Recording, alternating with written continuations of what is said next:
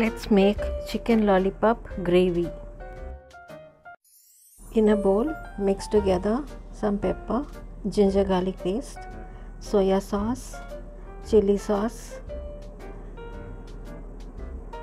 little salt, corn flour, and one egg. Mix well until they all bind together. Add the chicken pieces and mix well.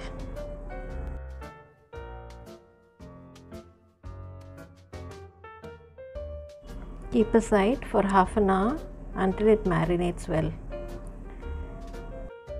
Take some maida, coat the chicken pieces well and keep aside.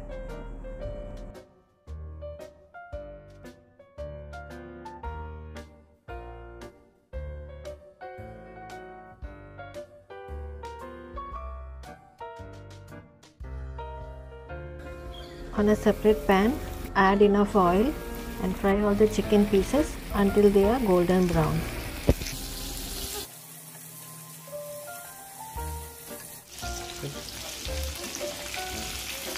Let's drain all the oil and dry it on a kitchen towel.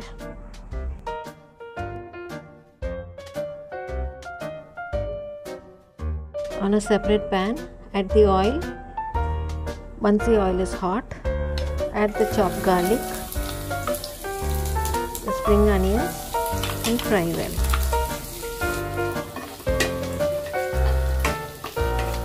Then add the chopped onions and the capsicum and fry.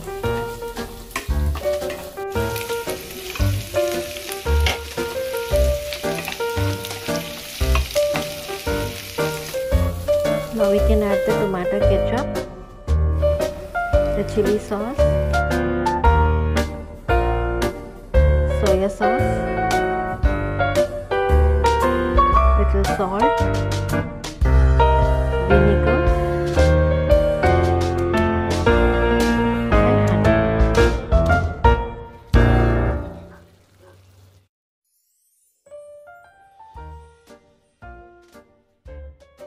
Mix for around 2 minutes and then we can add the spring onions and the chicken pieces.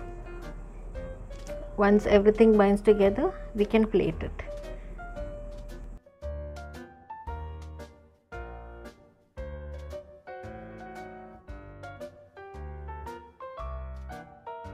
Do try it out. Thank you.